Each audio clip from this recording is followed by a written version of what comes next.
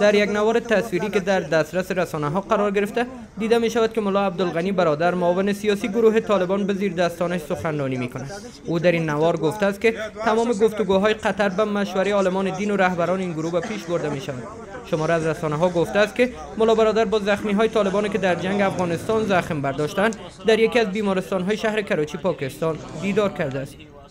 مذاکرات یا یو هغه اطمینان درکړو ستاسو دغه تکلیف و دغه خوارۍ چې تېرې سوي دي دا به بس ولاړې نه شي. پر دې باندې معامله نشي کېدلی.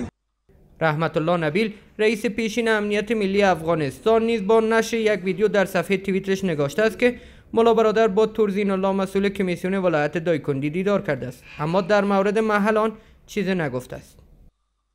هیئت طالبا با رهبرای خود و با شخصیت های نظامی امارت اسلامی افغانستان مشوره کنند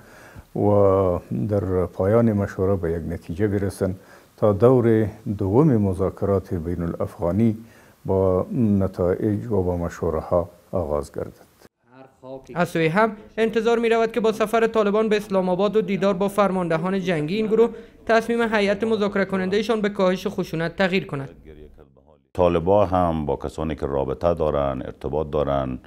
خب برمیگردن دیدگاه ها و نظریات شریک می‌کنن احتمال داره که در راه رسیدن به صلح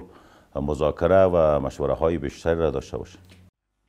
هیئت مذاکره کننده جمهوری اسلامی افغانستان که اکنون در کابل حضور دارد منتظر روشن شدن موقف حکومت از بحر وضاحت در مورد موضوع جمهوریتند قرار هست که در روزهای آینده با نهادهای مدنی احزاب سیاسی مخصوصا پارلمان افغانستان و سایر شخصیت های تاثیرگذار افغانستان که نیاز هست تا مشوره اونها را با خود داشته باشین مشوره صورت بگیره. هفت روز از رایزنی هیئت جمهوری اسلامی افغانستان در کابل میگذرد اما نبود یک اجماع سیاسی در روند صلح و نیز وضاحت نداشتن موضوع جمهوریت درباره آجندای دور دوم مذاکرات از بزرگترین چالش ها در برابر هیئت مذاکره کننده به حساب می آید.